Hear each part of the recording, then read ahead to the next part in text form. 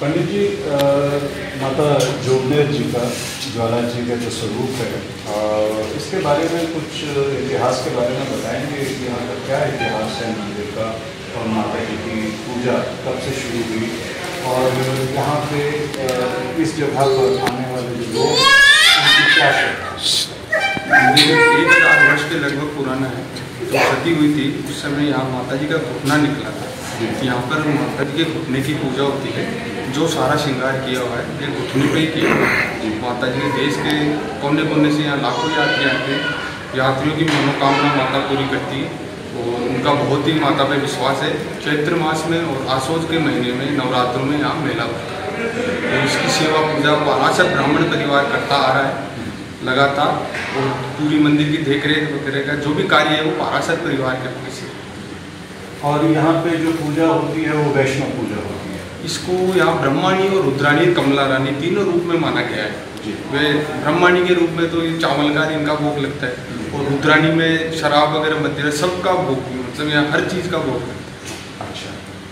और यहाँ पे जो ये जो मंदिर है इसकी स्थापना जो है वो कब हुई है? हज़ार साल तो आपने बताया लेकिन जो अभी जो स्वरूप है इसकी स्थापना कब ये लगभग बारह सौ छियानवे ईस्वी में इसका प्रारूप फ़र्स्ट बार बना था। उसके बाद पंद्रह पंद्रहवीं शताब्दी में यहाँ के राजा साहब के मतलब सपने में आई थी माता जी तो उस समय बना। उसके बाद में लास्ट टाइम अभी उन्नीस सौ बानवे में बानवे से छियानवे के बीच में यहीं के रहने वाले राजेंद्र जी बरड़िया जी उनकी देखरेख में इसका निर्माण।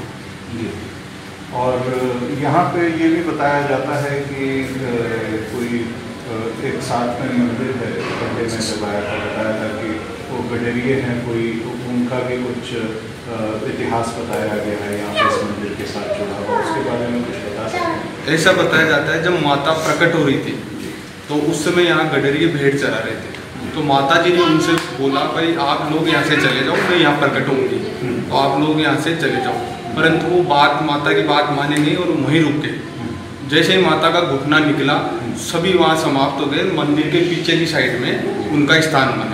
उनका स्थान बिल्कुल। उनकी पूजा होती है या कैसे? उनकी भी पूजा होती है। डेली जो भी सब देवताओं की जो भी मंदिर में यहाँ है देवी देवता अन्य सबकी एक साथ पूजा होती है।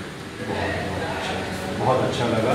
और इसके बारे में ये भी सुनने में आया कि कुछ यहाँ पे आक्रमण हुआ था तो आक्रमण के समय कुछ करामत हुई या कुछ ऐसी घटना घटी जिससे कि माता जी के ऊपर और ज़्यादा विश्वास हो गया?